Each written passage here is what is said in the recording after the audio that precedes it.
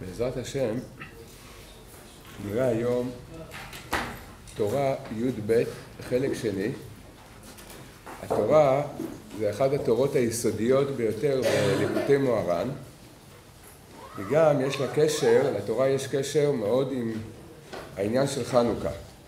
ונתחיל ללמוד את התורה, התורה הזאת, שרבי נתן אומר שבתורה הזאת רבנו גילה יסודות וסודות מאוד גדולים. בהנהגת העולם, איך הקדוש ברוך הוא מנהיג את העולם בכלל ובפרט בדור שלנו. רבנו מתחיל את התורה ואומר כי דע כי שורש כל הבריאה הוא הכבוד. כי כל מה שברא הקדוש ברוך הוא לא, ברא, לא בראו אלא לכבודו. כמו שכתוב כל הנקרא בשמי ולכבודי בראתיו ומאחר שהכל נברא בשביל כבודו יתברך, נמצא שכבודו יתברך הוא שורש כל הבריאה. ואף על פי שהוא כולו אחד, עם כל זה בבריאה יש חלקים. ובכל חלק מהבריאה יש בו כבוד מיוחד. וזה מה שכתוב בפרקי אבות, בעשרה מאמרות נברא העולם. בכל מאמר ומאמר יש בו כבוד מיוחד שהוא שורשו, כי הכבוד הוא שורש הכל. דבר ראשון צריך להבין מה רבנו מתכוון שכל הבריאה לא, לא נבראה אלא לכבוד השם יתברך, לכבוד הקדוש ברוך הוא, והוא שורש כל הבריאה. כבוד השם זה שורש כל הבריאה. מה, מה רבנו מתכוון למעשה להגיד במילים האלה? כבוד השם, הכוונה היא שאנחנו פה בעולם הזה, כל, הקדוש ברוך הוא שלח כל אחד מאיתנו, כל יהודי, כל יהודי זה נשמה, זה חלק אלוקא ממעל, זה נשמה אלוקית, יש לכל אחד מאיתנו נשמה אלוקית. אבל הוא שלח אותנו לעולם הזה למציאות של הסתרה, של ניסיונות מאוד קשים, לכל אחד יש ניסיונות. וכל הניס... מציאות העולם היא מסתירה את המלכות של הקדוש ברוך הוא. לכאורה, יש פה מלכות, אנחנו רואים, הנה, יש פה ראש ממשלה, לא, היה ראש ממשלה שהיה יכול אה, כביכול לפעול דברים. יש נשיא בארצות הברית, יש אה, אנשים עם כסף, יש אנשים חזקים, יש טילים, יש כל מיני דברים. יש גם בתוכנו כל מיני דברים שמסתירים את, את מלכות השם. מה מסתיר בתוכנו? שאנחנו רוצים דברים מהעולם הזה. כל מיני תאוות, כל מיני מידות לא טובות. כל זה, גם מבחוץ, גם מבפנים, גם בתוכנו, גם מחוצה לנו, יש אין ספור דרכים וסיבות שמסתירות את כבוד השם, את המלכות של הקדוש ברוך הוא. כביכול האדם יכול לחיות בעולם הזה ולהרגיש שהעולם הזה יש לו את כל האפשרויות לפעול, לעשות, מה זה, זה לא, לכאורה, זה לא קשור לקדוש ברוך הוא. ועד כדי כך שאפשר להגיע למצב שאדם אומר גם, אולי יש את השם, אבל אין לו שום קשר לעולם שלנו. כל זה זה הסתרה. והעבודה שלנו, העבודה של עם ישראל בכלל ושל כל אחד מאיתנו באופן פרטי, זה בדיוק הפוך. זה בתוך ההסתרה, בתוך כל המציאות שעוברת עלינו, לגלות את האמונה בקדוש ברוך הוא, ועל ידי זה מתגלה, הקדוש ברוך הוא מתגלה. כשאנחנו מגלים אותו בתוכנו, כשאדם מאמין בקדוש ברוך הוא ומתחזק להאמין בקדוש ברוך הוא, אז בזכות זה ועל ידי זה הקדוש ברוך הוא מתגלה, ואז המלכות של השם מתגלית. מתגלית. ואיך אנחנו עושים את זה? על ידי שאנחנו לומדים. כשהלימוד הוא נותן לנו הבנה, מה אנחנו בכלל צריכים לעשות. כי בלי התורה, בלי הלימוד, אנחנו בכלל לא מבינים כלום. אז הלימוד נותן לנו הבנה, ואחר כך ההתחזקות שלנו באמונה, שאנחנו מדברים עם הקדוש ברוך הוא. אדם יוצא עכשיו לעשות איזשהו עסק, ומצד אחד העסק יכול להעלות אותו מעלה מעלה, אבל גם יכול להוריד אותו מטה מטה. אז אנחנו, כשאנחנו יוצאים לעשות את זה, אז אנחנו לא, אנחנו מבינים שזה לא בידינו, אנחנו נעשה את ההשתדלות שלנו, אבל אנחנו לא שולטים על הדבר, אז אנחנו מדברים עם השם. אומרים לו, אבא, תעזור לי, תצליח, תעזור לי להצליח בעסק, תשמור שלא יקרה דברים לא טובים וכן הלאה. אז כל הדיבורים שאדם מדבר עם הקדוש ברוך הוא, כל זה, זה מגלה את המלכות של הקדוש ברוך הוא. זה האמונה. זה, זה נקרא האמונה בקדוש ברוך הוא. זה מגלה את המלכות שלו, וזה מה שרבנו אומר. כל מה שהקדוש ברוך הוא ברא בעולם, כל הבריאה כולה. ראיתי לשון באחד המפרשים שאומר הכל, זה כולל כל הציפורים והעופות והנחלים והימים והאנשים והבניינים והמטוסים והמחשבים, הכל הכל זה בסופו של דבר לגלות את מלכות השם. מצד אחד זה יוצר הסתרה, זה נראה כאילו יש פה עולם, כאילו יש פה עולם בלי הקדוש ברוך הוא. העבודה שלנו זה לפקוע את המסכים האלה וכן לגלות את מלכות השם. וזה היסוד, זה מה שרבנו מתחיל את התורה ואומר, אומר היסוד, התחלת התורה, הכל זה בשביל לגלות את האמונה ואת המלכות של הקדוש ברוך הוא. אבל עכשיו רבנו מוסיף ואומר לנו, ובאמת יש בזה הרבה הרבה בחינות פרטיות. כל אחד שונה, כל אדם שונה מהשני. ואצל האדם עצמו, כל יום שונה מהיום השני. יום ראשון אנחנו נמצאים במציאות מסוימת, יום שני כבר אנחנו בעולם אחר לגמרי, עובר עלינו דברים אחרים לגמרי. אז הכל משתנה. באופן כללי, רבנו אומר, בכלליות, בצורה כללית, יש עשרה דרכים, שזה נקרא עשר מאמרות שבהם ברא הקדוש ברוך הוא את העולם, ובעשר מאמרות נמצאים למעשה כל הבחינות הפרטיות. זאת אומרת, יש עשר דרכים כלליות שהקדוש ברוך הוא מנהיג את העולם, וזה נקרא בעשרה מאמרות ברא הקדוש ברוך הוא את העולם, ובכל מאמר ומאמר, תכף נראה מה זה המאמרות, בכל מאמר ומאמר יש מציאות, יוצאת ממנה מציאות, ואנחנו נמצאים בתוך המציאות הזאת. לפעמים אנחנו במציאות של מאמר כזה, ולפעמים במציאות של מאמר אחר. ומה עם המאמרות? המאמרות הם למעשה שכתוב בפרשת בראשית, פרשת, כתוב בפרשת בראשית, בסיפור בריאת העולם, הרי התורה מתחילה בסיפור איך הקדוש ברוך הוא ברא את העולם. בראשית ברא אלוקים את השמיים ואת הארץ. והארץ הייתה תוהו ובוהו, חושך על פני תהום וכולי, ומיד אחרי זה כתוב ויאמר אלוהים יהי אור ויהי אור. ואחר כך בהמשך כתוב ויאמר אלוהים יהי רקיע בתוך המים, ויהי רקיע. אז הקדוש ברוך הוא ברא את העולם במאמרות. מה זה המאמרות? ויאמר אלוקים, זה המאמרות. אז חז"ל אומרים עשר מאמרות, בעשר מאמרות ברא הקדוש ברוך הוא את העולם. כל הבריאה כולה, כל המקרים הפרטיים, הכלליים, הכל נמצא בתוך המאמרות האלה. וזה כל מאמר יוצר הסתרת פנים, ואנחנו צריכים בתוך ההסתרה לגלות שזה בעצם ויאמר אלוקים. זה בעצם הקדוש ברוך הוא עכשיו, עכשיו ברגע זה עושה ובורא ומאציל ומהווה את כל הבריאה. וזה כמו שאמרנו, זה נקרא לגלות את כבוד השם. אז כשכתוב בפרקי אבות, בעשרה מאמרות נברא העולם, אז אנחנו כולנו, זה איפה זה כתוב? זה כתוב בפרקי אבות. אנחנו אומרים פרקי אבות, בוודאי שזה, אנחנו לא הולכים לבדוק את, את חז"ל שאמרו בעשרה מאמרות נברא העולם, אנחנו לא הולכים לבדוק. מה הם אמרו? בעשר מאמרות, אז אנחנו מאמינים להם. שעשר פעמים כתוב ויאמר אלוקים יהי אור יהי רקיע אבל אנחנו מאמינים להם, אבל הגמרא לא האמינה להם. הגמרא הלכה וספרה. הלכה וספרה, ואחרי שספרו כמה פעמים כתוב ויאמר אלוקים, אתם יודעים מה הם גילו? שיש רק תשע פעמים, לא עשר, עשר פעמים. שואלת הגמרא, שואלת הגמרא את השאלה הזאת, למה אתה אומר בעשר מאמרות נברא העולם? הרי כתוב תשע פעמים ויאמר אלוקים, לא כתוב עשר פעמים ויאמר אלוקים. מתרצים, מה התירוץ? אומרת הגמרא, יש עוד מאמר אחד שהוא נקרא מאמר סתום. מה זה מאמר סתום? בראשית. המילה בראשית, הרי איך התורה מתחילה? בראשית ברא אלוקים את השמיים ואת הארץ. לא כתוב ויאמר אלוקים יהי שמיים וארץ. כתוב בראשית ברא אלוקים את השמיים ואת הארץ. הבראשית זה גם כן נקרא מאמר. אז אם תספור, יש תשע פעמים ויאמר, ויאמר אלוקים, ועוד פעם אחת בראשית. אז זה העשר מאמרות. אז יש לנו בראשית מאמר סתום. אנחנו היום קצת נתבונן, נלמד מה זה הבראשית מאמר סתום. אז אומר, אומר רבנו, שזה כל העולם כולו, כל המאורעות שלו, כל מה שעובר על כל אחד מאיתנו מאותו רגע שאמרנו את הבכי הראשון, איך שיצאנו לאוויר העולם ישר בכינו, ראינו לאן אנחנו מגיעים, ישר התחלנו לבכות. לכן, לכן לאדם יש הרבה תלונות בחיים, כי הוא זוכר את הבכי הראשון. שאז הבנו בדיוק לאן הגענו, היום כבר שכחנו. אז התינוק מתחיל לבכות, מאותו רגע כל המאורעות חיים שלנו, אומר רבנו, זה לגלות את כבוד השם. אז זה מובן. עכשיו מוסיף על זה רבנו עוד דבר. ואפילו בעבירות ובדברים רעים, חס ושלום, ששם אין כבודו יתברך.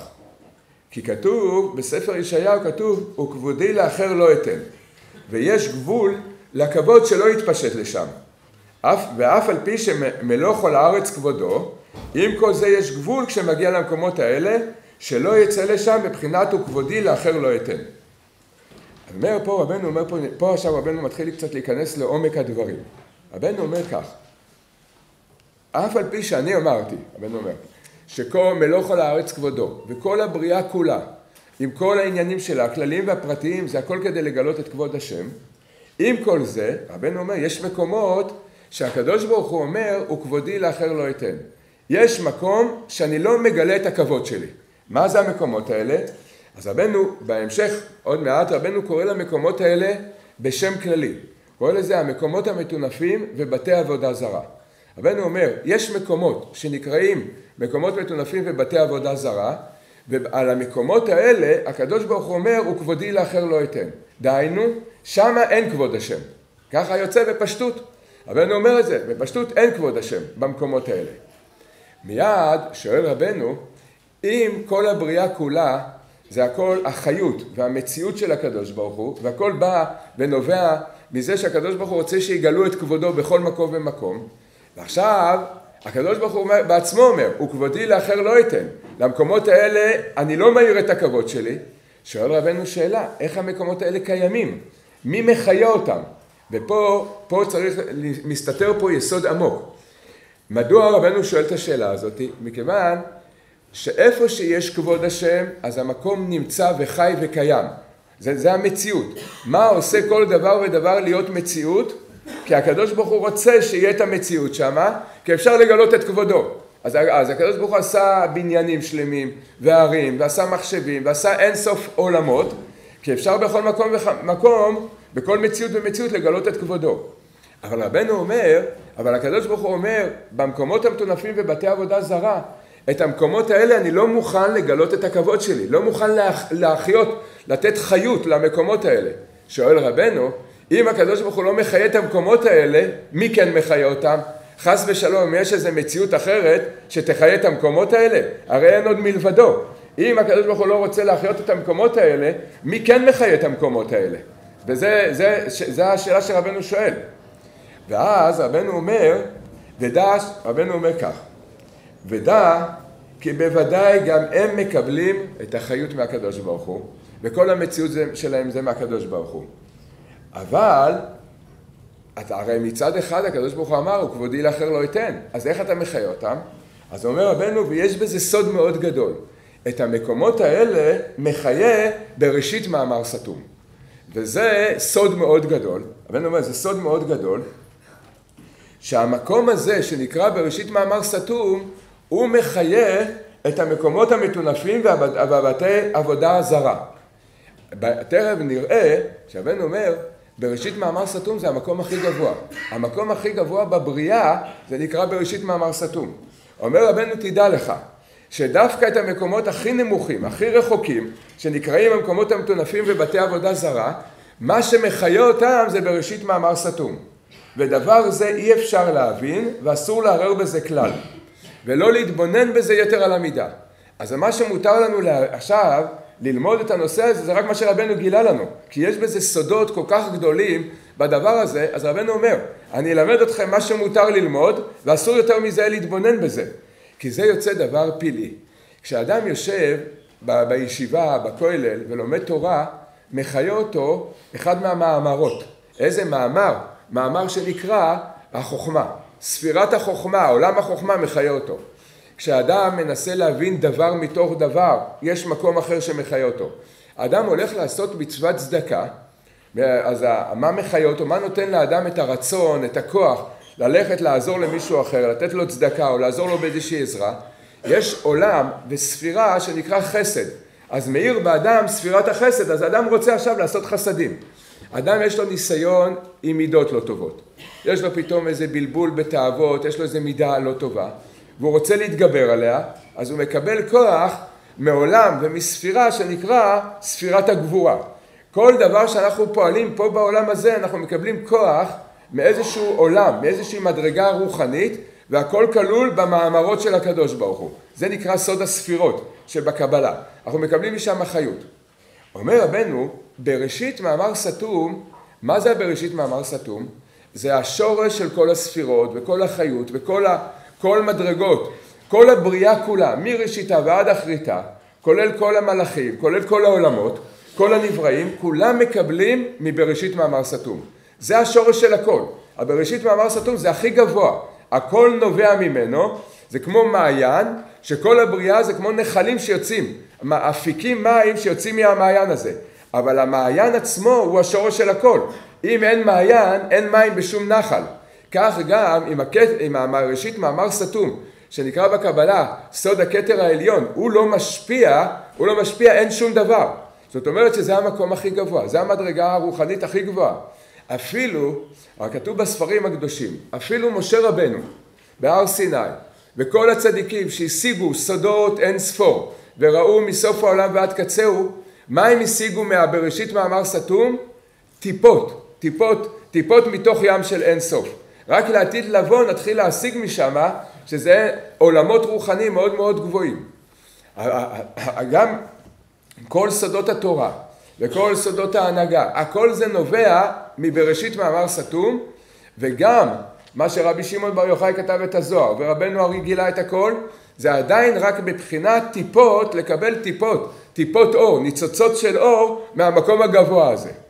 אז זה אנחנו מבינים, אנחנו לא מבינים את זה, רק אנחנו מבינים שיש כזה מקום. למדנו שיש כזה מקום גבוה.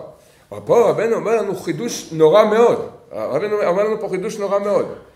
הרי הקדוש ברוך הוא אמר את המקומות המטונפים והבתי עבודה זרה, שזה המקומות הכי הכי רחוקים, הכי נמוכים, זה מה זה, מה זה נקרא מקומות מטונפים ובתי עבודה זרה.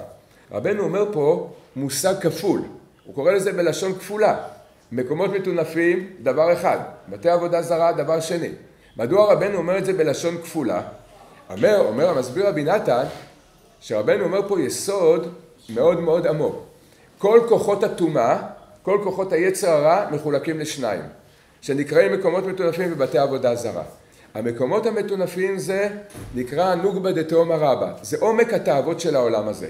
כל התאוות של העולם הזה, כל התאוות הגשמיות של העולם הזה, שאנחנו כולנו יודעים שהאדם נתפס לזה, הוא 120 שנה רץ אחרי זה. כל הזמן הוא מסובב את כדור הארץ. הוא רץ מישראל לברזיל, מברזיל להודו, לנפאל, ורץ כל העולם, כל הזמן רצים ורצים ורצים, אחרי להשיג עוד איזושהי תאווה. אדם נוסע, מישהו סיפר לי, הוא שמע שיש מסיבה בנפאל, מסיבת טבע בנפאל, אז הוא נסע. עכשיו, מה הוא רוצה? מה אכפת לך? מה יש לך במסיבת טבע בנפאל? מה זאת אומרת מה יש לי? עוד תאווה. אפשר להשיג שם, יכול להיות שיש שם עוד תאווה. אז זה כוח, אנחנו רואים, זה כוח מאוד גדול. זה נקרא המקומות המטונפים. בתי עבודה זרה, אז רבנו אומר, זה צד אחר של היצר הרע. הם, הם חברים, הם הולכים ביחד, אבל זה צד אחר. מה, מה זה הצד האחר? זה כפירה. זה הסתרה של האמונה בקדוש ברוך הוא. כל הדיבורים, כל הפילוסופיה, כל החוכמות, שכביכול יש פה חוכמות מאוד גדולות שמסתירות את האמונה בקדוש ברוך הוא, זה נקרא בתי עבודה זרה. רבנו אומר, כל כוחות היצר הרע מתחלקים לשניים, מקומות מטונפים ובתי עבודה זרה. בקבלה כתוב שכמו שיש בכל דבר יש זכר ונקבה, גם בטומאה יש זכר ונקבה. המקומות המטונפים זה נקרא נוקבה, זה הנקבה, ל"י ל"י ת', זה, זה, זה נקרא נוקבה דתאומא רבא. והבתי עבודה זרה זה הכפירות, זה נקרא בעלה, זה הזכר שבא בכוחות הטומאה. אז זה איש ואישה. איש ואישה הם אה, לפעמים יושבים ביחד, הם אומרים איך, איך נהרוס את העולם, איך, איך נ, נ, נ, נוריד את כל נשמות ישראל. אז הם ממציאים כל מיני דברים, להוריד את נשמות ישראל. וזה זה עומק השאלה שרבנו שואל פה.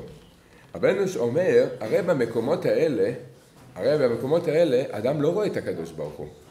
אם לא, אלא אם כן, שנראה בהמשך שיש סייעתא דשמיא מיוחדת. אבל אם אין סייעתא דשמיא מיוחדת, אדם, כשאדם יורד למקומות האלה, הוא לא רואה, אין לו אמונה בקדוש ברוך הוא, לא רואה עכשיו את ההנהגה של הקדוש ברוך הוא. אדם נמצא עכשיו במסיבה, מה הוא רואה? הוא שומע מוזיקה, יכול להיות שהוא רואה צבעים, צלילים, תלוי לפי הסוג של הכדור שהוא לקח, או הפטריה שהוא לקח, לאיזה עולם הוא עלה. יש כאלה שעולים לעולם של צלילים, יש כאלה לעולם של צבעים, תלוי, זה תלוי, זה תלוי בסוג הכדורים שהוא לקח. שם לא רואים את הקדוש ברוך הוא, שם, אלא אם כן יש סייעתא דשמיא, לא רואים את הקדוש ברוך הוא במקומות האלה. אז אומר רבנו, אז אם כך, מה מחיה את המקומות האלה? מה נותן את הכוח? וזה, וזה גילו, זה סוד, רבנו פה מגלה לנו סוד מאוד גדול. רבנו אומר, דע, שמה שמחיה את המקומות האלה זה בראשית מאמר סתום. השורש של כל הבריאה, המקום הכי גבוה שכל המדרגות, כל העולמות מקבלים ממנו, הוא יורד בעצמו, כלומר הוא מאיר בעצמו אל המקומות האלה, והוא מחיה את המקומות האלה. מה, מה קורה, מה יוצא מזה שמחיה את המקומות האלה דווקא בראשית מאמר סתום? אומר רבנו שני דברים נגרמים. א', דבר ראשון, יש במקומות האלה חיות עצומה. למה יש חיות עצומה במקומות האלה? כי הם מקבלים ממקום מאוד גבוה. לכן לתאוות ולבלבולים יש כוח מאוד גדול להטות את האדם, מכיוון שהשורש שלהם הם באמת מקבלים ממקום מאוד מאוד גבוה. הם מקבלים מבראשית מאמר סתום. לכן אנחנו יכולים לראות, לפי זה אפשר להבין, כשאדם נופל לאיזושהי תאווה, באיזה תאווה, עכשיו הוא קם בבוקר והוא ישר בלילה, הוא חלם על עוגת אה, קצפת, עם ככה, עם אה, כזה תותים עליה ודובדבנים ואיזה שתי מטר עוגת קצפת. הוא חלם על זה בלילה, אז הוא קם בבוקר, הוא זוכר את החלום. מה הוא עושה? באותו יום, כל היום הוא ירדוף אחרי עוגת קצפת. יבוא הלילה, הוא ימשיך את הרדיפה. זה יכול לקחת 40-50 שנה עכשיו הרדיפה אחרי העוגת קצפת. היום יש שירים על עוגת קצפת, יש סרטים על עוגת קצפת. תאווה אחת של העולם הזה משגעת את האדם עשרות שנים. אנחנו רואים, לפעמים אומרים לבן אדם, תגיד, אתה, מה אתה רודף כל כך אחרי התאוות האלה, הדמיונות האלה? הוא אומר, תשמע, אתה הגיוני, אבל מה אני אגיד לך, זה יותר חזק מההיגיון שלך. התאוות יותר חזקות מהחוכמה. אומרים לבן אדם, התאווה תהרוס אותך, תקלקל לך את החיים. הוא אומר, יכול להיות שאתה צודק, ואף על פי כן אני רץ אחרי התאוות. מדוע? פה אנחנו יכולים להבין מאין זה נמשך, שהכוח של התאוות הוא כל כך חזק. מכיוון שכל התאוות וכל הבלבולים באמונה הם נמשכים ממקום כזה גבוה, שנקרא במאמר, בראשית מאמר סתום, לכן יש בהם כוח כל כך גדול, לבלבל אותנו ולהטעות אותנו. אז כל תאווה מתאוות העולם הזה, כל הכוח שלה, זה נמשך בגלל שהיא מקבלת ממקום כזה גבוה, את החיות שלה. דבר שני, אומר רבנו עוד, עוד דבר, ואומר רבנו, מכיוון שזה מאמר סתום, אז האדם יכול ליפול למקום הזה, לחיות במקום הזה 120 שנה, הוא בכלל לא יודע מה הקדוש ברוך הוא. כי האור של השם סתום שם, המלכות של השם שמה נסתרת. זה השם בעצמו, אין מישהו אחר שמחיה את המקומות האלה. זה רק הקדוש ברוך הוא. אבל מה? אבל בצורה נסתרת. אם אדם נוסע לכותל להגיד תיקון הכללי, נוסע ליוסף הצדיק להתפלל, או הולך ללמוד תורה, אז כל זה זה מציאות שעוזרת לאדם לגלות את הקדוש ברוך הוא. אבל המקומות האלה, הם לא עוזרים לאדם לגלות את הקדוש ברוך הוא, הפוך. הם סוגרים לאדם את העיניים לראות את הקדוש ברוך הוא. מסביר רבנו למה, מכיוון שזה נמשך ממקום כזה גבוה, שנקרא בראשית מאמר סתום, זה סוגר את ההבנה ואת העיניים שלנו לראות את הקדוש ברוך הוא במקום הזה. אז המקומות האלה, בגלל שזה נמשך מבראשית מאמר סתום, יש להם שתי תכונות. אחת, שהם מאוד עוצמתיים. אז לכן זה, וזה הסיבה שהתאוות הן כל כך חזקות. והנקודה השנייה זה שהקדוש ברוך הוא נסתר שם. עד כאן רבנו מגלה לנו את הסוד הזה. כל זה, אנחנו צריכים לדעת, רבנו, ש, שרבנו גילה לנו דברי תורה וכתב ליקוטי מוהר"ן, וגם הסיפורי מעשיות, רבנו לא לימד אותנו רק בשביל שנדע חוכמות בעלמא. העיקר זה הלכה למעשה. אז אומר רבנו, מה ההלכה למעשה מכל זה? למה רבנו גילה לנו את כל הדבר הזה? אז אומר רבנו, ודע שיש מצב שאדם נופל למקומות האלה. הכוונה שקורה שיהודי נופל למקומות האלה, למקומות שנקרא כבודי לאחר לא אתן. ורבנו גילה לנו את כל התורה הזאת לגלות לנו מה אפשר, איך אפשר לעזור לנו כשאנחנו נופלים למקומות האלה. כשיהודי נופל למקומות האלה, איך אפשר לעזור לו? אז רבנו אומר, דבר ראשון רבנו אומר לנו, דע שמתחילת הבריאה יש גזרה, שיהיו נשמות ישראל שיצטרכו ליפול לתוך המקומות האלה. זה אנחנו צריכים לדעת, שהקדוש ברוך הוא ברא את העולם, אז הוא גזר את הגזרה הזאת, זה מה שרבנו אומר בסיפורי מעשיות, ויום אחד אמר לה, המלך אמר לבת מלך שהלא טוב ייקח אותה. הבת מלך זה נשמות ישראל, הלא טוב זה המקומות האלה. המלך גזר על, על נשמות ישראל, תלכו ללא טוב, הוא הוריד אותנו ללא טוב. למה? זה נראה בהמשך למה.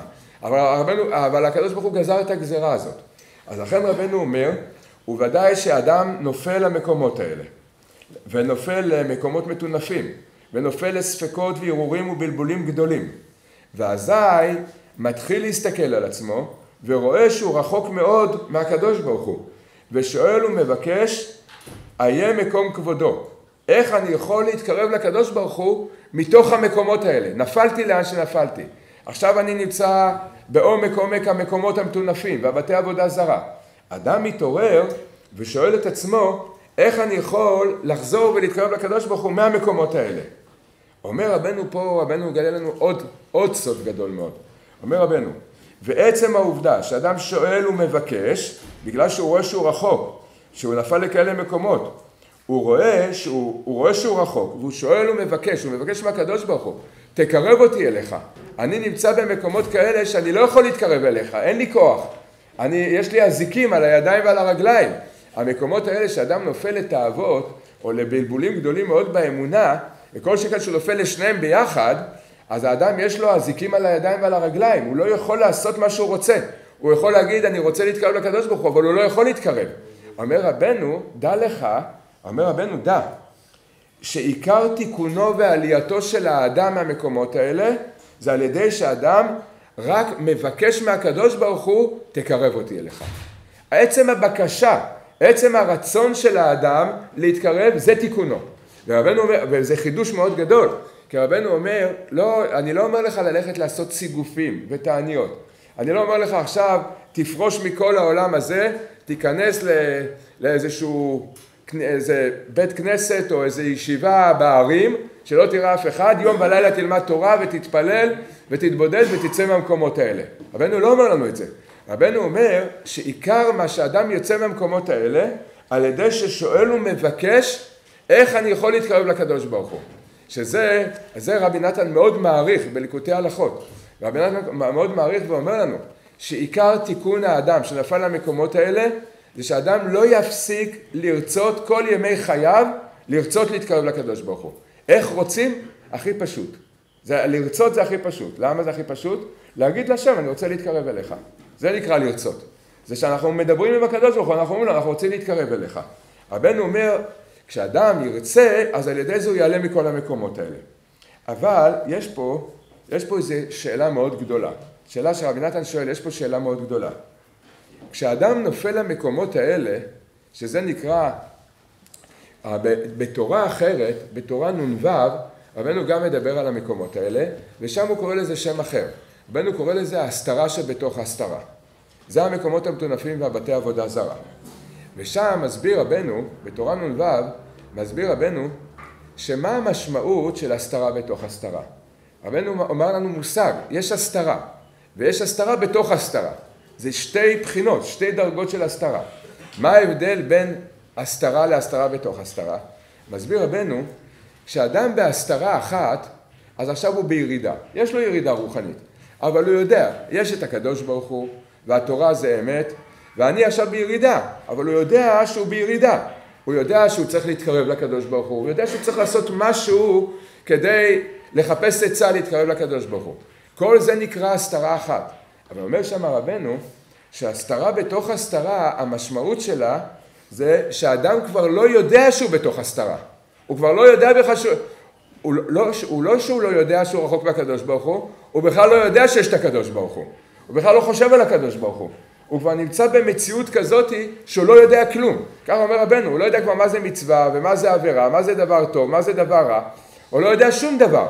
וזה נקרא נפילה למקומות האלה. זה ההסתרה בתוך הסתרה. כמו שאנחנו, היום בדור שלנו אנחנו מבינים את זה. הרי עכשיו ברוך השם, בשנים האחרונות הדבר מתחיל כבר להשתנות.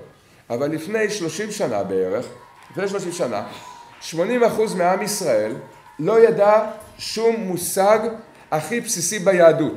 לא ידעו כלום.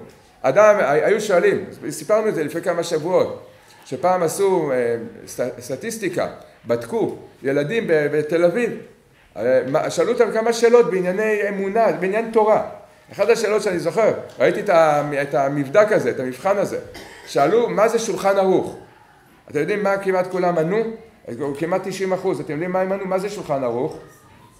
מסעדה בתל אביב. ברור שזה מסעדה בתל אביב. אה, אה, היו כאלה שידעו אפילו את הכתובת של המסעדה הזאת. זה מסעדה אפילו על רמה וכן הלאה. שום דבר לא ידעו. מה זה שבת? מה זה שבת?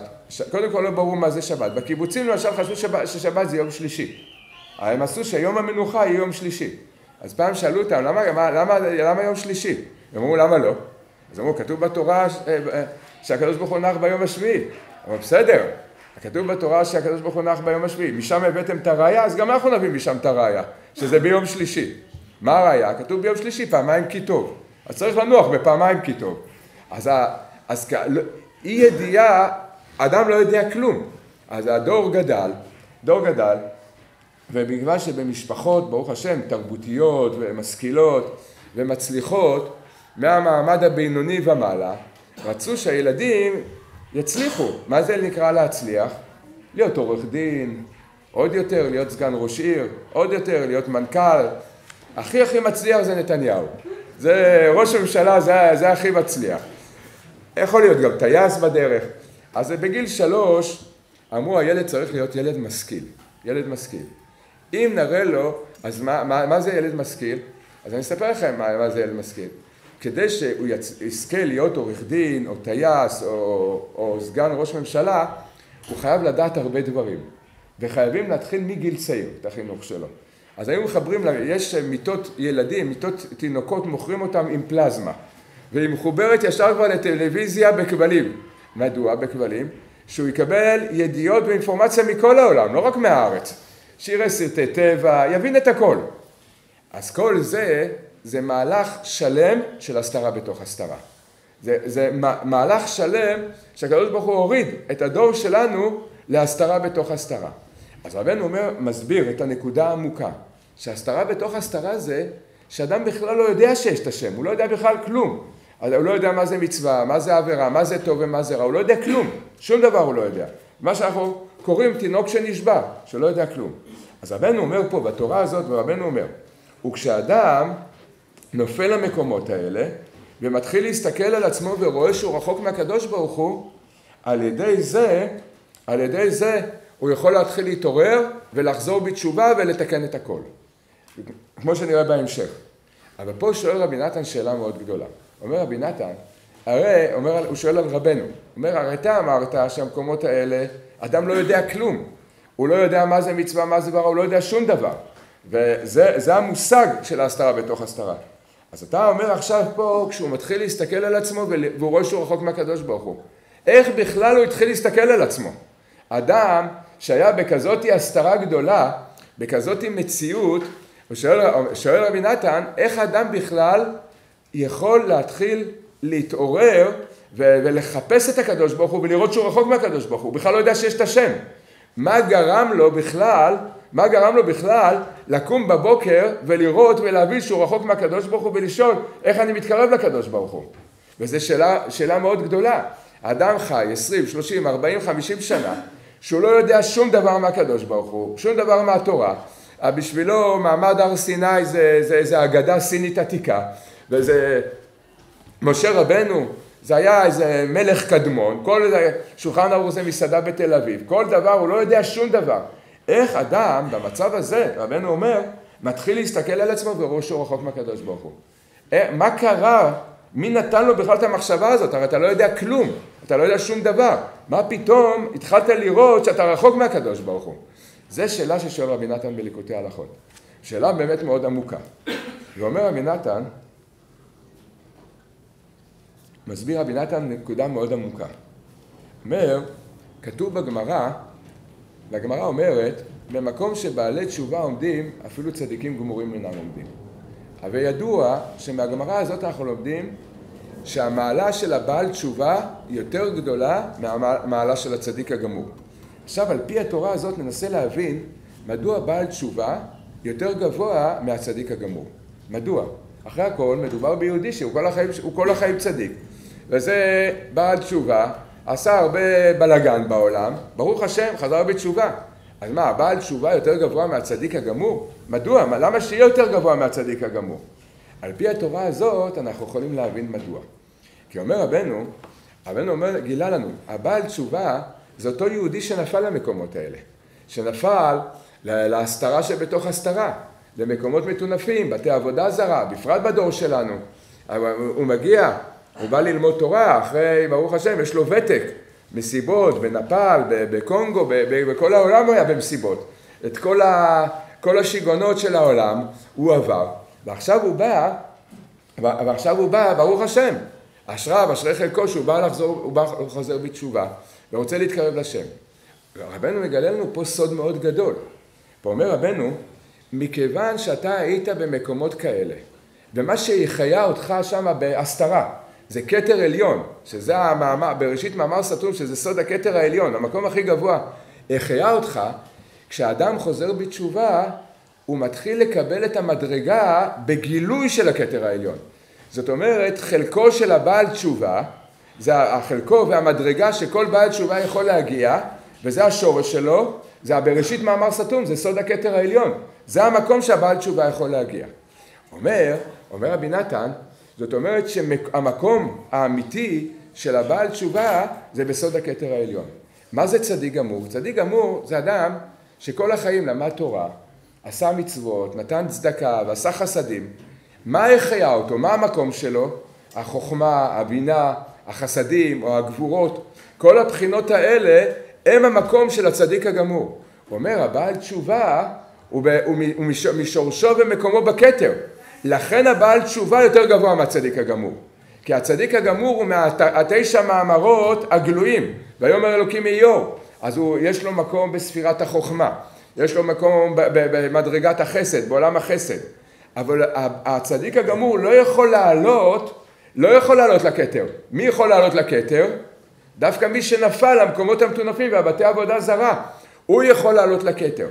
אומר רבי נתן, זה עומק הסיבה שחז"ל אמרו בגמרא, במקום שבעלי תשובה עומדים, אפילו צדיק גמור עומד, אינו, אינו, לא יכול לעמוד.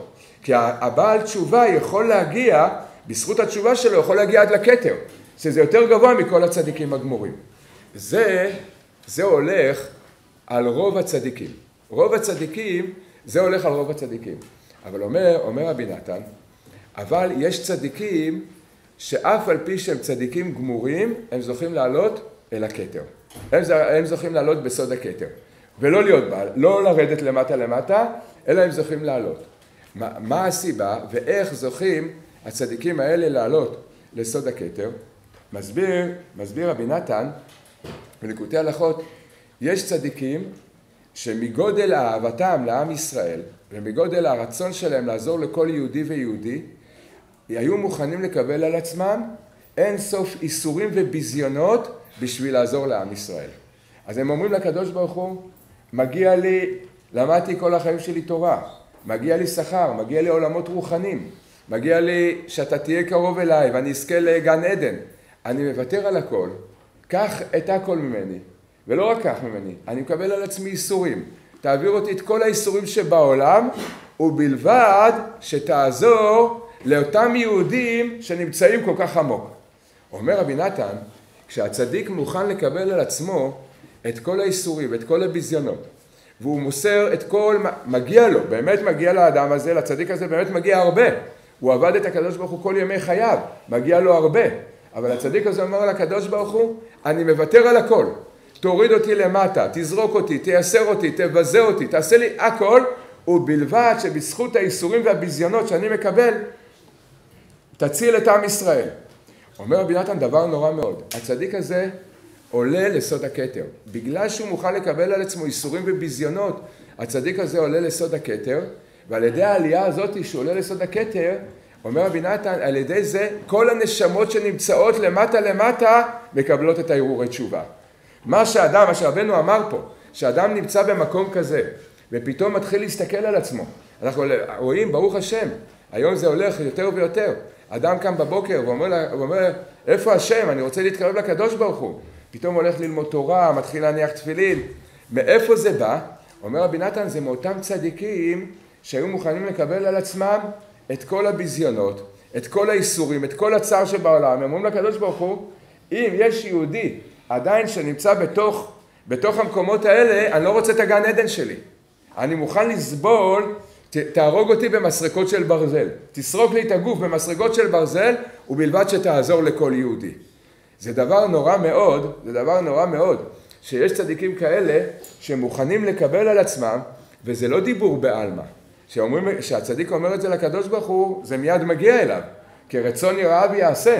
והקדוש ברוך הוא מיד מתחיל להעביר אותם ניסיונות ואיסורים עצומים ונוראים, אבל הניסיונות שלהם והאיסורים שלהם והביזיונות שהם מקבלים מצילים את כל נשמות ישראל. וזה הסוד מה שרבנו אומר, ופתאום אדם נמצא במקומות האלה, פתאום הוא מתעורר בתשובה, פתאום הוא רוצה לנסוע לאומן, פתאום הוא רוצה להניח תפילין. מאיפה אתה רוצה? מאיפה אתה רוצה את זה? מהצדיקים האלה שהיו מוכנים שהקדוש ברוך הוא יסרוק את גופם במסרקות של ברזל, 40 יום ו-40 לילה, כמו רבי עקיבא, שהבן איש חי אומר שרבי עקיבא היה, רבי עקיבא התנא, היה מהצדיקים האלה. אז רבי עקיבא, ידוע, היה תלמיד חכם הכי גדול בעולם. אז רבנו ארי אומר, כל התלמידי חכמים שיש בעולם, כולם מקבלים את התורה מרבי עקיבא. והוא שורש כל התלמידי חכמים בעולם, כל החוכמת התורה זה מרבי עקיבא. ורבי עקיבא קיבל, וקיבל, הוא, הוא, הקדוש ברוך הוא סובב סיבות שהרגו אותו בייסורים עצומים, סרקו את גופו במסרקות של ברזל. שואל, ומשה רבנו ראה את זה, משה רבנו שאל את הקדוש ברוך הוא, זו תורה וזו שכרה, כזה מיתה. אומר אחד מגדולי המקובלים, הרמה מפאנו, רבי מנחם עזריה מפאנו, בספר שנקרא עשר מאמרות. אז הוא אומר שמה, למה הקדוש ברוך הוא עשה את זה לרבי עקיבא? מדוע העמית את רבי עקיבא בכזאת מיתה? שהבן איש חי כותב, זה לא יום אחד סרקו את גופו במסרקות של ברזל. זה ארבעים יום וארבעים לילה סרקו את גופו במסרקות של ברזל, של, של רבי עקיבא. זה איסורים שאי אפשר בכלל לחשוב ולתאר אותם, את הדברים האלה. אומר הרמה מפאנו, אומר הרמה מפאנו, דבר נורא מאוד. אומר, מדוע הקדוש ברוך הוא עשה את זה לרבי עקיבא? כי רבי עקיבא ביקש את זה מהקדוש ברוך הוא. והקדוש ברוך הוא קיים רצון יראה ויעשה. אני, הצדיק, רבי עקיבא זה הצדיק הכי גדול בדור. הוא היה משיח בן יוסף, הוא ביקש ממני את הדבר הזה. אז אני קיימתי בו רצון יראה ויעשה. היה, רבי עקיבא, היה, היה לו נשמת משיח בן יוסף. אז הוא ביקש מהקדוש ברוך הוא, תסרוק את גופי במסרקות של ברזל. אני מבקש ממנו את המיטה הכי נוראית. זה אומר הרמה מפנו. אומר רבי נתן, למה רבי עקיבא רצה את הדבר הזה? למה הוא רצה מסרקות של ברזל? כי רבי עקיבא ראה את כל הנשמות שנפלו לקליפות, נפלו לעומק עומק ההסתרה, מבריאת העולם ועד הגאולה, רבי עקיבא ראה את הכל, ורבי עקיבא ידע שכדי לעזור לנשמות האלה הוא חייב לעלות לסוד הכתר העליון, הוא חייב לעלות והוא יכול לעלות לשם רק על ידי שיעשו, שהוא יקבל על עצמו כאלה איסורים נוראים. ורבי עקיבא קיבל על עצמו את האיסורים הנוראים האלה ובזכות האיסורים של רבי עקיבא שהוא קיבל את זה באהבה ושכל יום שהיו סורקים את גופו במסריקות של ברזל, מה הוא היה עושה? היה אומר, שמע ישראל השם אלוקינו השם אחד. כל יום היה מקדש שם שמיים, בתוך המקום הזה. אז אומר, אומר רבנו הארי, אומר רבנו הארי, שבזכות רבי עקיבא, כל יום ויום, כל יום, ככה אומר רבנו הארי, כל יום ויום, הקדוש ברוך הוא מוציא מהמקומות הכי קשים, מהמקומות הכי נידחים, את הנשמות הכי הכי קשות, מוציא אותם מהקליפות ומחזיר אותם בתשובה. הכל זה בזכות רבי עקיבא. ומתי עושים את זה? כל יום עושים את זה. מתי עושים את זה? גילה לנו רבנו ארי סוד. זה כתוב את זה בסידורים הספרדים. כשאנחנו מתפללים שחרית ואנחנו אומרים אל נקמות השם בתחילת התפילה, בתחילת פסוקי דה זמרה אל נקמות השם, אל נקמות הופיע, יש סידורים ספרדים שכתוב לכוון על עשרת הרוגי מלכות. אז אומר רבנו ארי גילה לנו את הסוד, שמה מוצאים את הנשמות. שאנחנו צריך להגיד, כשאדם אומר אל נקמות השם, צריך להגיד את זה בהתעוררות מאוד גדולה. למה? כי עכשיו הקדוש ברוך הוא מוציא את הנשמות הכי רחוקות, הכי נידחות, ומחזיר אותן בתשובה. אז זה אומר, אומר, אומר רבי נתן, שזה הסוד איך אדם, איך אנחנו מתעוררים בתשובה. שבדור שלנו, שזה העקבתא דמשיחא, זה ההסתרה בתוך ההסתרה הכי גדולה שיש. היום זה מצד אחד אנחנו רואים יש את ההסתרה הכי גדולה, יש לך אין סוף אתרים וכל אתר זה הסתרה בפני עצמה ויש כמו שסיפרנו, סיפר לי איש מחשבים, יש יותר ממיליון אתרים של טומאה גמורה, זה הלכלוך הכי גדול, יותר ממיליון אתרים וכל האתרים האלה זה הכל יכול לעשות את ההסתרה הכי גדולה. בד בבד אנחנו רואים שיותר ויותר חוזרים בתשובה. יותר ויותר מתקרבים לקדוש ברוך הוא. בכוח מה זה? זה הכל בכוח הצדיקים שמוכנים לקבל את כל הביזיונות, מוכנים לקבל לעצמם את כל האיסורים, והם מחזירים את כל עם ישראל בתשובה. לכן רבנו בעצמו העיד על, עליו, אנחנו לא יודעים את זה, אבל איזה איסורים רבנו בעצמו עבר, מדוע? כי רבנו ידע שהוא הנשמה שצריכה לעורר את נשמות ישראל עד ביאת המשיח צדקנו. ורבנו קיבל על עצמו את כל הביזיונות שיש בעולם, קיבל על עצמו את כל הצער והאיסורים, כדי לעזור לנו לחזור בתשובה. לכן באמת, מי שמחזיר אותנו בתשובה, זה, זה סוד. אדם, אדם חוזר בתשובה כי הצדיק, בזכות הצדיק, הקדוש ברוך הוא העיר בו את האור של התשובה. אבל אנחנו לא יודעים את זה, אז אנחנו הולכים, אדם חוזר בתשובה, הולך לרב, או נכנס לישיבה, מתחיל ללמוד תורה, ברוך השם, הוא מתחיל להתקדם. אחרי כמה שנים, פתאום הוא אומר, רגע, אבל אני שמעתי על רבי נחמן מברסלב, אני רוצה לנסוע לאומן. אז אומרים לו, מה, אתה השתגעת? מה פתאום? ברסלב, אם תיסע, אם אתה תתקרב לרבי נחמן, אתה תשתגע. ואם אתה תיסע לזה, ואם תיסע לאומן, זה מחלת נפש. זה כל מי שנוסע לאומן, מקבל מחלות נפש. תיזהר, אל תעשה את, ה, את הדברים השיגעונים האלה. ולמה הוא אומר, טוב, אמרו לי לא לנסוע, אני אהיה משוגע, אז אני לא נוסע. עובר עוד שבוע, עוד שבועיים, פתאום הוא מרגיש שהוא חייב, הוא חייב לנסוע. למה האדם חייב להתקרב ולנסוע? כי עומק הנשמה יודע, יודעת, האדם יודע מעומק הנשמה שלו מי באמת יחזיר אותו בתשובה. זה רק הצדיקים האלה, כמו, כמו, כמו, כמו שאמרנו, רבי עקיבא, רבי שמעון בר יוחאי, שקיבל על עצמו 13 שנה של איסורים נוראים במערה, וכל הצדיקים האלה שהיו מוכנים למסור את הכל, את כל החיים שלהם, את כל הכבוד, את כל, את כל, את כל המציאות בשביל עם ישראל, בשביל אדם יהודי, בזכותם אנחנו חוזרים בתשובה. אז האדם יודע את זה, אז בשלב מסוים האדם מרגיש שהוא חייב להתקרב לצדיקים האלה. ורבנו זה השורש של כל הצדיקים לעזור לנו לחזור בתשובה. לכן מגיעים לרבנו 40 אלף אנשים בראש השנה, לא מבינים. הרי מתוך 40 אלף, 20 אלף לא יודעים בכלל מי זה רבי נחמן, בקושי יודעים, שמעו, יש רבי נחמן מברסלב, זה אלה שרוקדים ברחובות, זה, זה ריקודים, לא? זה, יש כאלה שהגיעו לאומן, חשבו שיש מסיבת ריקודים באומן. אם בארץ הם נוסעים ברחובות ורוקדים, כנראה באומן זה המסיבת ריקודים הכי גדולה. שם כנראה יש את הטרנסים שאין בשום מסיבה בנפאל, אז חייבים לנסוע לאומן. אבל באמת, בעומק של הדבר, זה הצדיק קורא לנשמות, כי האדם היהודי יודע בעומק עומק הנשמה שלו מי באמת מקרב אותו, מי באמת מעורר אותו. זה הצדיקים שמוכנים למסור את הנפש בשביל עם ישראל. ומה הם פועלים? ואז הם פועלים פעולה עצומה ונוראית. הם מגלים את כבוד השם במקום שהקדוש ברוך הוא אמר, אני לא רוצה להתגלות שם. הקדוש ברוך הוא אמר, לא, אני לא רוצה, כבודי לאחר לא אתן. אז בא הצדיק לקדוש ברוך הוא, אמר לו, אבל, אבל יש שם יהודים. אז מה הקדוש ברוך הוא אמר לצדיק? יש שם יהודים, זה לא בעיה שלי, למה הם ירדו לשם?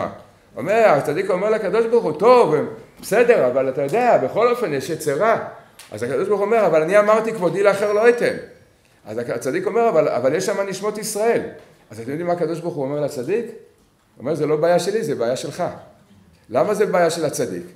הקדוש ברוך הוא אומר לו, אני אזכיר לך, לפני שבראתי את העולם אמרתי לך, כי המדרש אומר, הוא אמר לנשמות הצדיקים, הקדוש ברוך הוא אמר לצדיק, לא, זה בעיה לברוא את האדם, יהיה פה קלקולים גדולים. אז הצדיק, הנשמות של הצדיקים האלה אמרו לקדוש ברוך הוא, אנחנו ערבים על כל עם ישראל. קיבלנו על עצמנו ערבות. שנדאג לכל יהודי ויהודי, כתוב במדרש רבה. עכשיו הקדוש ברוך הוא מזכיר לצדיק, אתה זוכר לפני שבראתי את העולם, אתה זוכר שאמרתי לך שיהיה פה בעיות? אתה קיבלת על עצמך ערבות, לך אתה תדאג לזה. ברוך, אז הצדיק אומר לקדוש ברוך הוא, אני אקבל על עצמי את כל האיסורים, את כל הביזיונות, תאיר.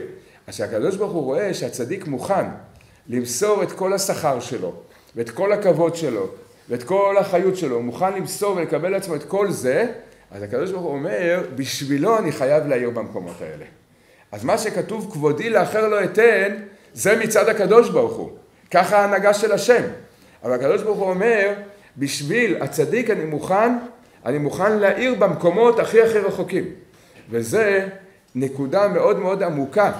אנחנו לא רואים ולא יודעים מהאיסורים של הצדיקים. אנחנו לא יודעים את זה. מדוע?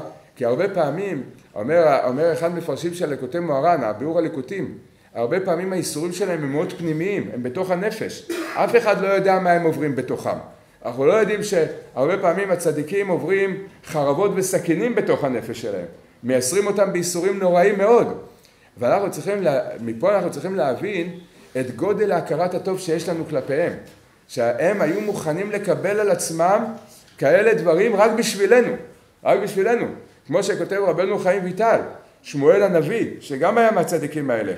שמואל הנביא, זה אומר רבנו חיים ויטל, הוא ראה את זה. זה פעם סיפרנו את זה, זה כתוב בספר שהוא חיבר, זה נקרא ספר החזיונות.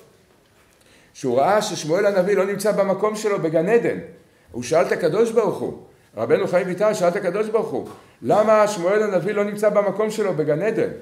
אז אמר לו הקדוש ברוך הוא לרבנו חיים ויטל, שבשעה ששמואל הנביא בא למעלה, רצו להכניס אותו בכל הכבוד שבעולם, כזה צדיק, גדול הנביאים, אחרי משה רבנו היה גדול הנביאים, רצו להכניס אותו למקום שלו. שמואל הנביא נשבע, הוא אמר אני לא נכנס למקום שלי. עד שכל עם ישראל לא יחזור בתשובה ותהיה גאולה שלמה, לא נכנס למקום שלי.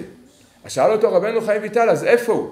אז הוא אמר לו, הוא הולך על הכותל המערבי, מהכותל המערבי לציון, משמואל הנביא לכותל המערבי, מאז שהוא נפטר עד הגאולה, שמואל הנביא הולך שם הלוך וחזור ומתפלל על הגאולה של עם ישראל. לא רוצה להיכנס למקום שלו בגן עדן. זה דבר נורא מאוד, אנחנו לא יכולים להבין את זה. אומרים לבן אדם, יש לך את כל העולמות, כל התענוגים. המקום שלו, זה רבנו חיים ויטל כותב, המקום של שמואל הנביא זה ללמוד תורה עם הקדוש ברוך הוא, שהקדוש ברוך הוא ילמד אותו סודות התורה, את כל הדברים הכי הכי מופלאים בעולם. שמואל הנביא יכל לשבת וללמוד. הוא אמר לקדוש ברוך הוא, אני לא רוצה. אם יש יהודי שעדיין לא קיבל את ה... עדיין לא חזר בתשובה ואין גאולה, אני לא רוצה להיות במקום שלי. אומר הרמח"ל, בספר שנקרא קנאת השם צבקות, אומר הרמח"ל דבר נורא, ומשה רבנו אותה בחינה. משה רבנו, ככה אומר הרמח"ל, דבר נורא. אומר משה רבנו, מי גדול כמשה שמגיע לו כל השכר שבעולם. אומר שמשה רבנו אמר לקדוש ברוך הוא, אל תיתן לי את השכר שלי. עד שלא עם ישראל לא יחזרו בתשובה שלמה, אז תחסיר ממני את השכר שלי בשבילהם. אנחנו לא יודעים מה המצב, ש... איפה זה נמצא ואיך, מה, זה, מה המשמעות של הדברים. הרמח"ל אומר, משה רבנו ויתר על מדרגות, על השגות, על עולמות רוחניים, בשביל שעם ישראל יחזור בתשובה. כי זה, זה נובע, כל זה נובע מגודל אהבת הצדיקים לעם ישראל. אז כשהקדוש ברוך הוא רואה את המסירות נפש של הצדיקים על עם ישראל, אז מה זה עושה? זה מכריח את הקדוש ברוך הוא להאיר עמוק עמוק עמוק בתוך, ה, בתוך המקומות האלה. בתוך ההסתרה שבתוך הסתרה, במקומות המטונפים ובתי עבודה זרה. וכל זה, וכל זה, זה הסוד של חנוכה. כל העניין של חנוכה, שהגמרא אומרת, מעולם לא ירדה שכינה מתחת לעשרה. מה הכוונה לא ירדה שכינה מתחת לעשרה? זה כל התורה שלמדנו היום. השכינה זה, זה המאמרות, זה הגילוי של הקדוש ברוך הוא. היא לא ירדה למקומות הנמוכים. הקדוש ברוך הוא לא העיר והוריד את הגילוי שלו מתחת לעשרה טפחים. עשרה טפחים זה נקרא בערך מטר. כביכול הקדוש ברוך הוא לא מאיר. אז הם מסבירים, כל המקובלים מסבירים, מה זה מתחת לעשרה טפחים? הכוונה למקומות המטונפים בבתי עבודה זרה.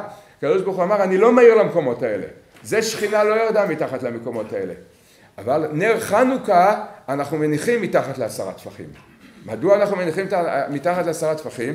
אומר רבנו הרי הקדוש, כדי שעל ידי הנר חנוכה אנחנו ממשיכים הערה, אנחנו ממשיכים אור גבוה מאוד מאוד, שנקרא מי"ג מידות של רחמים, מסוד הכתר העליון, מבראשית מאמר סתום, אנחנו ממשיכים אור לתוך המקומות המטונפים ובתי עבודה זרה. כל הסוד של חנוכה, כל העניין של חנוכה זה להאיר, זה האור של הצדיקים האלה, שמסרו את הנפש בשביל עם ישראל ובזכותם הקדוש ברוך הוא מאיר לנשמות הכי נידחות. וזה החשמונאים. הכל זה, זה בזכות החשמונאים. כי החשמונאים יצאו למלחמה כנגד היוונים, הם לא יצאו למלחמה כמו שהיום, שיש תוכניות ויש צבא, יש כלים. החשמונאים היו בסך הכל, כמה הם היו החשמונאים? שישה. מתתיהו היה בן שמונים, כשהתחילו המלחמות הוא היה בן שמונים, היו לו חמישה בנים, יהודה, שמעון, אלעזר, יונתן, כמה אמרנו? יוחנן. יהודה, שמעון, יוחנן, אלעזר ויונתן. אז זה היה מתתיהו וחמשת בניו. מה הם עשו? הם יצאו להילחם נגד היוונים, הם לא יצאו על דעת זה שעכשיו יש פה איזה מלחמה, תוכניות, או... אלא הם עשו, כל העניין שלהם היה עניין אחר לגמרי. הם ראו שבעם ישראל קורה, קורה, קורה חילול השם נורא ואיום. מה היה חילול השם? זה שהיוונים נגד התורה, זה שהיוונים רוצים לבטל את עם ישראל ממצוות, מעשים טובים, ודאי, היוונים, זה, אנטיוכוס זה קליפה, הוא, הוא כולו טמא, בזה אין חידוש. הנורא, מה שהיה, חילול השם היה שאחוזים מאוד גדולים בעם ישראל התחילו לקבל על עצמם את תרבות יוון, זה מה שנקרא מתייוונים. הפחד הגדול של מתתיהו והבנים שלו זה לא היה בגלל הטומאה של, של היוונים, היוונים ודאי שהם נמצאים במקום הזה. הפחד הגדול שלהם היה, חילול השם הגדול היה, שאחוזים כל כך גדולים בעם ישראל מקבלים על עצמם את התרבות היוונית, מתחילים ל- ללמוד יוונית, ללמוד את הפילוסופיה היוונית, מתחילים להתרחק מהתורה והמצוות ומתחילים להידבק ולהאמין בתרבות יוון. ושמתתיהו וחמשת בניו ראו את זה, מזה הם פחדו, זה היה חילול השם. חילול השם היה שכל כך הרבה יהודים הולכים אחרי הדרך הזאת. ואז הם הבינו שאין פה עכשיו, הם לא יכולים לעשות שום דבר. מה, מה הם יעשו כנגד זה? ואז הם החליטו שהם הולכים לקדש שם שמיים, על דעת זה שיהרגו אותם. אבל הם כיוונו לעשות פעולה ברוחניות. הם, אמרו, הם, הם, הם לא כיוונו לנצח את היוונים. כי בטבע לא היה שייך לנצח את היוונים. הם אמרו, אם השם רוצה לעשות לנו ניסים, הוא יעשה לנו ניסים. ואם הוא לא רוצה, אז אנחנו נמות. כי הנקודה הייתה כנגד לעשות איזושהי פעולה של קידוש השם, כנגד הפעולה, כנגד המציאות של חילול השם שהייתה. וחילול השם זה היה ההיצמדות, ההידבקות של כל כך הרבה יהודים בתרבות יוון, שזה נקרא המתייוונים. לכן הם יצאו למלחמה, איך הם יצאו למלחמה? צבא, איך מי שהיה בצבא יודע איך הולכים למלחמה. אה, חודשים, טירונות, יורים בנשקים, לומדים. אז איך המפקד של הצבא היה יהודה, כי הוא היה הכי גיבור, הוא לא היה גדול, הוא לא היה מבוגר, אבל הוא היה הכי גיבור. מתתיהו אמר לו, אתה שר צבא. זה שר צבא. היו לו ארבע אחים יחד איתו, ועוד שלושה חתנים, ועוד איזה שתי מתנדבים, עשרה אנשים, הוא שר צבא של עשרה אנשים. אז מה זה שר צבא? מה עושה שר צבא של עשרה אנשים? אז הוא אמר להם, אנחנו חייבים למסור את הנפש באימונים, אנחנו חייבים להתאמן. זה לא פשוט, יש פה צבא חזק, צריך להתאמן. אז כתוב במדרש, במדרש, שיהודה ידע לאמן את החיילים שלו מאוד מאוד טוב. היה להם שדה של אימונים, זה נקרא, במקום, שזה נקרא מצפה. יש כאלה שאומרים שזה קבר שמואל הנביא, יש כאלה שאומרים שזה באזור שם, זה באזור שמואל הנביא. או, בק... או שזה ממש בקבר שמואל הנביא, באזור שם, או בקרוב לשם. אז הוא לקח אותם, לשם היה השדה של האימונים שלהם. מה הם עשו? אז לפני כל מלחמה הם היו עושים שלושה ימי אימון אינטנסיביים. איך הם היו עושים? קודם כל שלושה ימי תענית. זה ההתחלה של האימונים. אחר כך הם היו הברסלבים הראשונים בעולם. היהודה אמר להם, תראו, מה אני אאמן אתכם? אנחנו הולכים עכשיו לעשות התבודדות. זה היה האימונים שלהם. זה כתוב במדרש, שהם היו הולכים לעשות התבודדות, הם היו עושים שלושה ימים של תענית והתבודדות. ויש תפילה, יש תפילה של יהודה, מה הוא היה מתפלל לפני שהוא יצא למלחמה. הוא אומר לקדוש ברוך הוא, אני יודע שאני לא יודע להילחם, ואני יודע שאני עכשיו לוקח עשרה אנשים נגד בערך שלושים, ארבעים אלף, זה היה היחס. אנחנו אומרים בתפילה, מעטים מול רבים. אז, אז היחס היה, על כל חייל, על כל לוחם יהודי, הוא צריך עכשיו להסתדר עם בערך חמשת אלפים חיילים יוונים. אז איך אפשר להסתדר? אז הולכים להתפלל, הולכים להתבודד. אז הם הלכו להתבודד. ואחר כך הם היו עולים על הסוסים, כתוב במדרש, כל אחד היה לו חרב, עכשיו הם היו רואים, יש פה 40 אלף חיילים. אז יהודה היה אומר, אלעזר, אתה רואה שם 5,000, אתה לוקח את ה-5,000 האלה. יוחנן, אתה רואה פה יש 3,500, אתה לוקח את ה-3,500.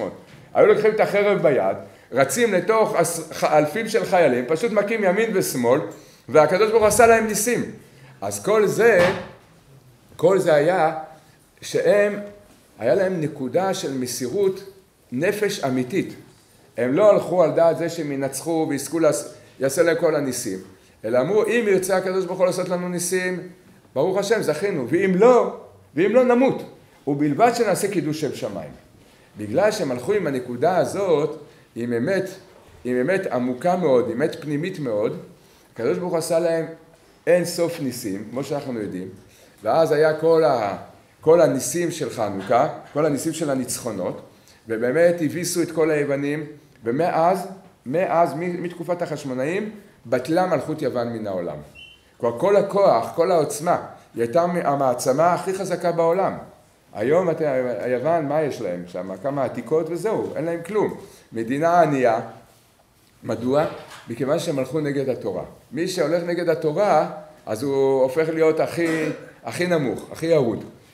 בזכות זה, אז אומר, אומר, אומר רבנו הארי, הקדוש ברוך הוא עשה כאלה ניסים ונפלאות, שלא רק שהיה באותו שנה ניסים ונפלאות, אלא כל שנה ושנה הקדוש ברוך הוא מעורר אור עליון מאוד, אור, אור עליון מאוד, שהוא הסוד של אור של נר חנוכה, והסוד של נר חנוכה זה האור הזה שיורד להסתרה שבתוך ההסתרה, מתחת לעשרה טפחים, ומאיר את כל נשמות ישראל להתעורר ולהתחיל לחזור בתשובה. לכן נר חנוכה זה סוד הכתר העליון. אפשר לראות את זה בכמה בחינות. הדבר הראשון אנחנו שמים את זה מתחת החנוכיה. אם צריך לשים את זה על החלון, אז שמים את זה על החלון. אבל אם לא, אז צריך לשים, מי ששם את זה על הרצפה, צריך להשת... להקפיד לשים את זה מתחת לגובה של מטר, ב-70 סנטימטר. השלבת צריך להיות בגובה 70 סנטימטר. ולכוון בזה, לכוון בזה שזה עכשיו יורד מתחת לעשרה טפחים. זה יורד למקומות המטונפים בבתי עבודה זרה. מה עוד אנחנו מכוונים? אנחנו אומרים להדליק נר חנוכה, מברכים. ברוך אתה השם, אשר כולנו במצוותיו וציוונו להדליק נר חנוכה. יש מחלוקת, איך הנוסח המדויק, להדליק נר של חנוכה או להדליק נר חנוכה. אז אנחנו צריכים, אנחנו נוהגים להגיד להדליק נר חנוכה, לא של חנוכה, להדליק נר בברכה. למה? כי צריך לכוון, זה כתוב בסידורים, לכוון. מה מכוונים? ראשי תיבות, להדליק נר חנוכה. מה זה להדליק נר חנוכה? יש לנו נון, נר. חנוכה, חטא. להדליק, לעמד, ביחד זה יוצא נחל. אז צריך, כשמדליקים נר חנוכה, לכוון נחל. מה זה נחל? נחל זה רבנו, נחל נובע מקור חוכמה. שעכשיו אנחנו מכוונים שרבנו מתגלה לכל הנשמות. וזו כוונה אמיתית.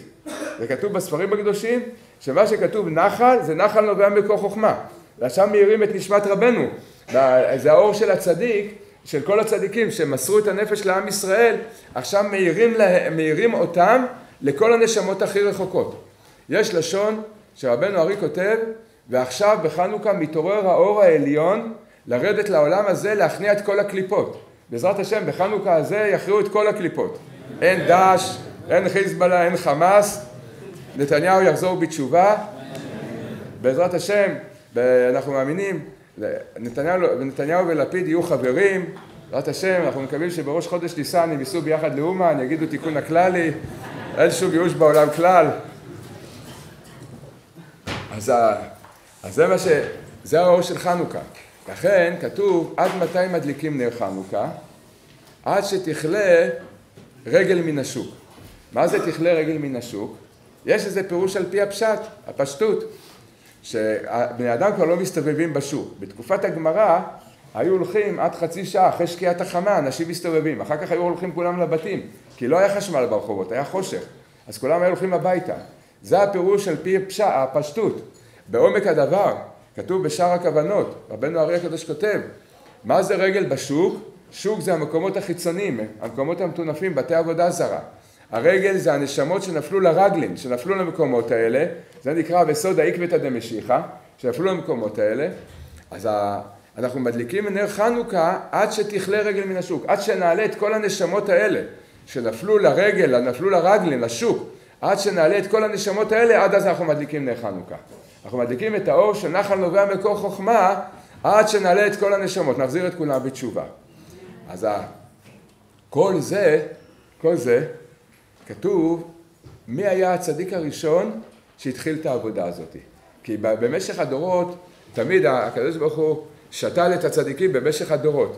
מי היה הצדיק הראשון שמסר את עצמו, מסר את הנפש והתחיל להדליק את נר חנוכה. אז זה כתוב, זה כתוב בתיקוני הזוהר, בתיקון י"ג. מתתיה, כשהחשמונאים הגיעו לבית המקדש, כשהחשמונאים הגיעו לבית המקדש, אז הם uh, התחילו לבנות, כי הם הרסו אותו היוונים, אז התחילו לה, להקים את כל, ה, את כל ההריסות.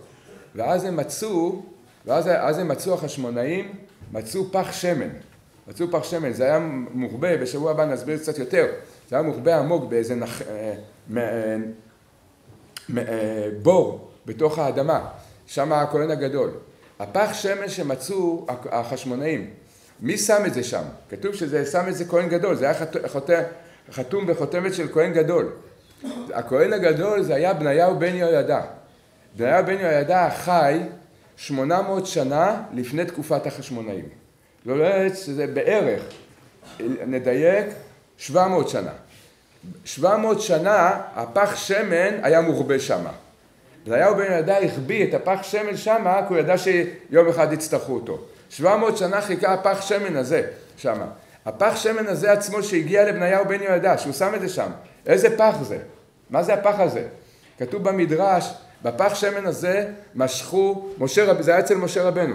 הוא משך את המשכן ואת אהרון, ואת אהרון הכהן. ואחר כך ששלמה המלך בנה את בית המקדש, בפח שמן הזה הוא משך את בית המקדש. שמואל הנביא משך בפח שמן הזה את דוד המלך להיות מלך. זה פח מסתורי שהולך עם עם ישראל כל הדורות. עד היום הוא נמצא בירושלים, הפח שמן הזה. הוא נמצא למטה, ב- למטה למטה. הפח שמן הזה, איפה אנחנו מוצאים אותו לראשונה? פרשת השבוע של, של השבוע שקראנו בשבת. כתוב, כתוב שיעקב אבינו, שהעביר את כל, את כל, ה, את כל העם שהיה איתו, היה, היה לו, אתם יודעים כמה כבשים היו ליעקב אבינו? אמרנו את זה לפני כמה שבועות. ליעקב אבינו היה שישים ריבו כבשים. כל הכבשים של, משה, של יעקב אבינו זה היה נשמות ישראל. אז הוא היה כזה עשיר גדול, העביר אותם את נחל יבוק, יבוק. כשאחרי שהוא העביר את כל עם ישראל, את כל האימהות והשבטים והכבשים, הכל הכל, את כולם הוא הביא, היה צבא אדיר, 600 אלף כבשים, כמה רועים היו לו, כמה עבדים, כמה שפחות היה ליעקב אבינו, זה היה מחנה מאוד מאוד גדול. פתאום יעקב אבינו, אחרי שהעביר את כולם, מה הוא, פתאום הוא שם לב? שהוא, מה הוא קרא? שהוא שכח פחים קטנים. פחים קטנים הוא שכח. אז כתוב, התורה מספרת לנו, שיעקב אבינו חזר בלילה לחפש את הפחים הקטנים. תשימו לב שזה פלא גדול. שתי פחים, כמה פחים? שתי פחים. הוא שכח שתי פחים קטנים. שתי פחי שמן קטנים הוא חזר. אתה כזה עשיר גדול, איך בכלל שמת לב שחסר לך את שתי הפחים האלה? ועל שתי פחים קטנים אתה חוזר? אתה בשביל שתי פחים קטנים אתה עושה כזה, אתה מסתכן בלילה ללכת לבד וחוזר להביא את הפחים הקטנים האלה? ומה כתוב שהוא חזר והביא את הפחים האלה? מה התורה מספרת לנו? ויאבק איש עמו עד עלות השחר. חז"ל אומרים, מי זה האיש הזה שנאבק איתו? הסמ"ם בעצמו נאבק איתו. זה היה סמ"ם נאבק עם יעקב אבינו. כל הלילה הוא נאבק איתו. אומר, אומר תיקוני הזוהר, הפחים האלה, זה כתוב ברבנו הארי ובתיקוני הזוהר. מה, בשביל מה יעקב אבינו חזר? יעקב אבינו ידע שיש סוד מאוד גדול בפחים האלה. בפחים האלה יש את הנשמות הכי נידחות. הניצוצות הכי נידחות בעם ישראל יש בפחים האלה. יעקב אבינו לא חזר בשביל הפחים הגשמיים, הוא חזר בשביל הניצוצות, את הנשמות הכי נידחות שיש בעם ישראל, בשביל זה הוא הסתכן. ועל זה אומר רבנו ארי הקדוש, אמר לו הסמ"ם, הכל לקחת לי. אתה, לקחת לי את כל הנשמות, לכבשים שלך. הכל לקחת לי, גם את זה אתה רוצה לקחת לי? ויאבק איש עמו עד עלות השחר. לכן הסמ"ם נאבק איתו. אומר תיקוני הזוהר, כל סוד חנוכה, כל סוד הצדיקים, משה רבנו שמסר את הנפש לעם ישראל, רבי שמעון, רבי עקיבא, רבנו ארירה ורבנו, כל הצדיקים האלה, הכל מתחיל מאותו לילה של המאבק של יעקב אבינו עם המלאך. יעקב אבינו היה הראשון שמסר את הנפש במלחמה עם הסמ"ם על נשמות ישראל, ולכן הפחים האלה, אלה הפחים הם סוד, כל הסוד של התורה שלמדנו. להם, זה השמן, זה סוד השמן שמאיר בהסתרה שבתוך ההסתרה. זה כשאנחנו מדליקים, לכוון על הפחים של יעקב אבינו. זה הפחים הלכו, הגיעו למשה רבנו, הגיעו לשמואל הנביא, לשלמה המלך, לבניהו בן יהודה ולחשמונאים. וזה משכו את המלכים, משכו את המשכן, את בית המקדש, את כל הכלים משכו בשמן הזה, וזה אנחנו, בשמן הזה, הכוונה באור הרוחני של השמן הזה, אנחנו מדליקים את נר חנוכה, ובזכות זה כל נשמות ישראל יחזרו בתשובה.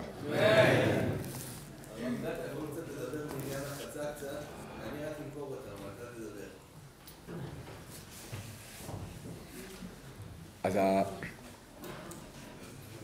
כן, ניתן באמת דקה אחת, שתיים. בשבועות האחרונים הזכרנו קצת את כל העניין של המציאות שבה אנחנו נמצאים ושעובר עלינו, אז אנחנו רוצים, חשוב מאוד, חשוב מאוד לדייק ולהגיד. אנחנו לא יכולים לדעת בצורה ודאית בתאריכים ובמאורעות, דברים שיקרו. מדוע? כי הקדוש ברוך הוא מנהיג את העולם שעל הסדר, הגאולה, יש הסתרה מאוד גדולה. אז אנחנו לא יכולים לדעת בוודאות. אבל יש סימנים מאוד גדולים, וגם הצדיקים, הצדיקים גם כן אומרים דברים מאוד גדולים.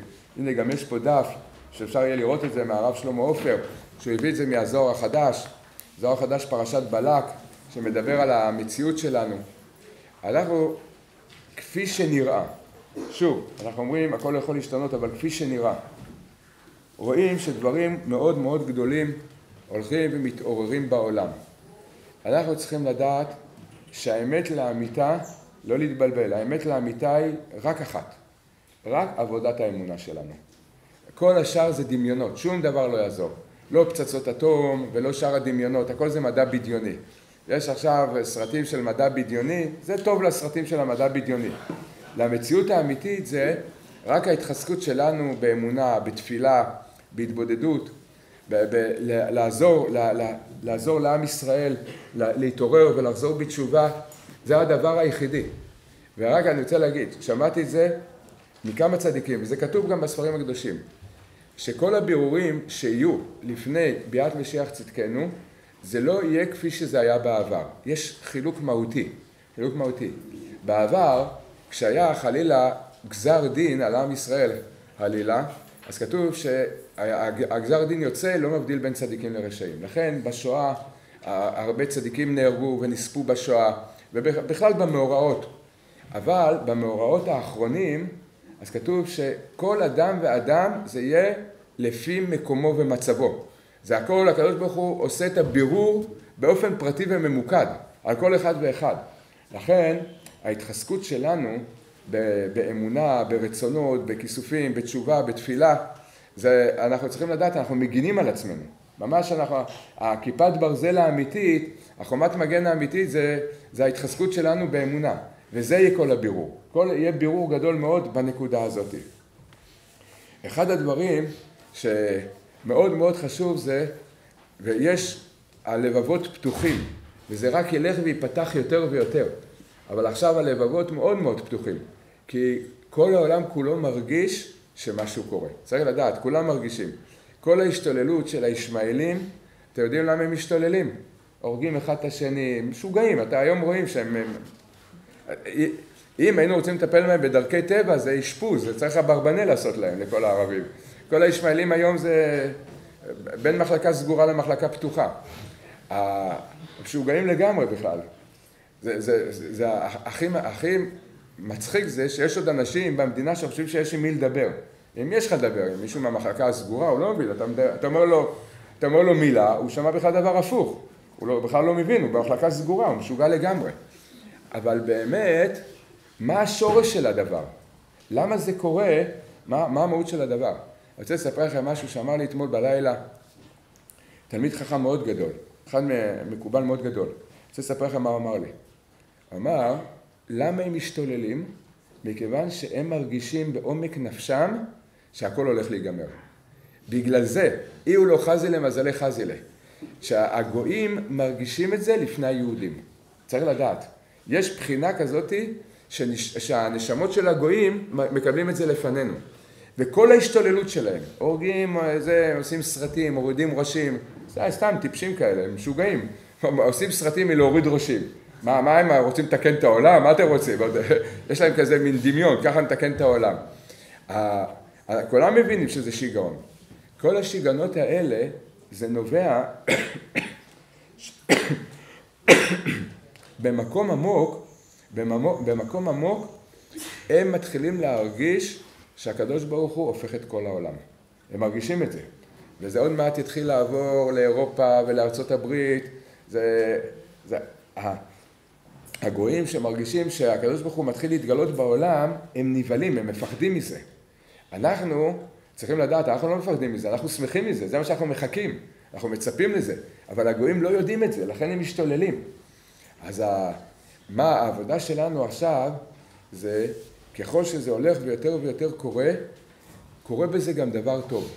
לבבות עם ישראל נפתחים, נפתחים לדיבורים של אמונה, לדיבורים של התחזקות, וכל דיבור עכשיו, ברוך השם, מחזק, מאוד מחזק, מאוד מאיר. לכן אחד הדברים שאנחנו יכולים לעשות, ואנחנו אומרים, זה מצווה, מצווה גדולה מאוד שתגן עלינו. זה ממש ללכת ולהפיץ, ללכת ולהפיץ כל אחד איך שהוא יכול, במקום שהוא יכול. אם, אם מישהו רוצה, השבוע, באיזה יום אנחנו? לפני יומיים, דיברתי עם אחד, מ, אחד המנהלים, החשובים, אני לא יודע בדיוק מה התפקיד שלו, זה מס, בשירות בתי הסוהר. אחד הבכירים שם בשירות בתי הסוהר, הוא אמר לי, הוא אמר לי, תמצאו מתנדבים, תביאו לנו, אני מקבל על עצמי, יש 27 בתי סוהר של אגפים חרדיים, אה, דתיים, שלומדים תורה ומתחזקים. הוא אמר, אני מקבל על עצמי להפיץ מאות דיסקים בכל אגף. רק תשלחו לי, תביאו לי. אם מישהו רוצה, שיבוא, יגיד לנו, ייתן סכום כסף, את כל זה אנחנו לוקחים להפיץ בבתי הסוהר. ותדעו לכם שיש שם התחזקות מאוד גדולה בבתי הסוהר, מצווה גדולה מאוד לחזק, לחזק שם. אז בכל מקום, ברוך השם, לכן כל אחד, מה שהוא יכול, לקחת ערכות, לקחת דיסקים, להפיץ, יש בזה עניין מאוד מאוד גדול, ובעזרת השם, בחנוכה הזה נזכה לראות ניסים גלויים. אמן. שהקדוש ברוך הוא מתגלה בעם ישראל, וכמו שהרב שלמה עופר אומר בשם הזוהר, הזוהר החדש, הכל אמרנו, זה אפשרי המציאות, לא, לא ודאי, אבל בהחלט זה אפשרי המציאות, שיתחיל להתגלות עניין של משיח בעולם, בעזרת השם, שנזכה לראות ניסים ונפלאות לכל עם ישראל.